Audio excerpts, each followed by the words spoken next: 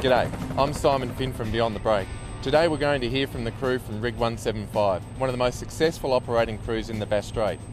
This crew is well known for their commitment to safety, teamwork, leadership, and ongoing successful campaign drilling operations. I'm sure you'll enjoy it.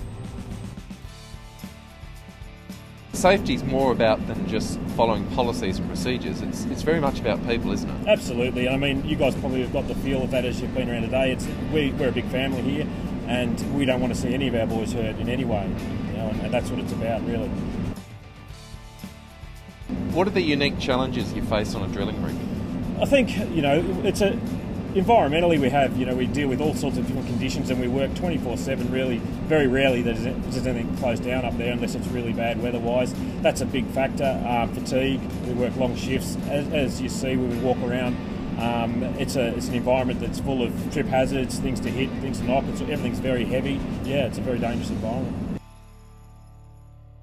Coaching and mentoring plays a huge role out here, in particular with neighbours. Why is that so successful? Absolutely. It's been successful because we've got a really broad spectrum of experience in the workplace here, and um, we'd be fools not to tap into that. So we have our mentoring programs make sure that we've never got people working alone, they're always in pairs, and where it can be structured, it'll be somebody of greater experience working with somebody of lesser experience. When it all comes together, it's a pretty good place to work. Oh, absolutely. It's terrific. Yeah. Hi, my name is Mario Petronella and I'd like to welcome you to Rig 175, my rig, my family.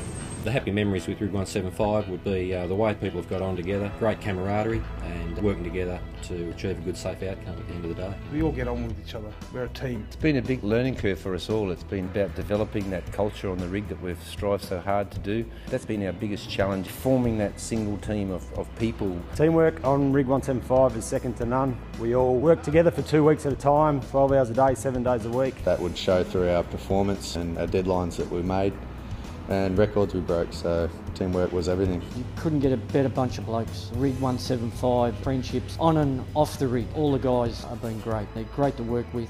We look after each other, and that's been right from day one. I've made some fantastic friends. I've learned a lot. The guys here, it's a second family. We spend half our life here.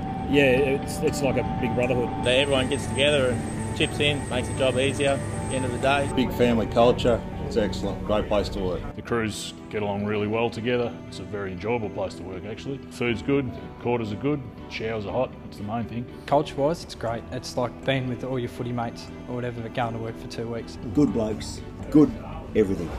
Rig 175 is one of the best rigs getting around for safety, just with their work ethic.